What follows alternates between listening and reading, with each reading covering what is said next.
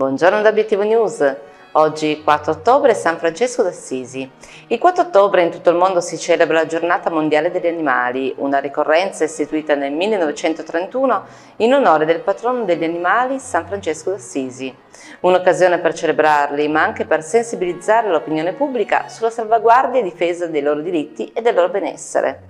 In Italia, dove sono promossi la cultura del rispetto e della cura degli animali da compagnia, più di 4 abitanti su 10 possiedono un animale d'affezione. Molto più di semplici animali domestici, sono parte integrante di milioni di famiglie.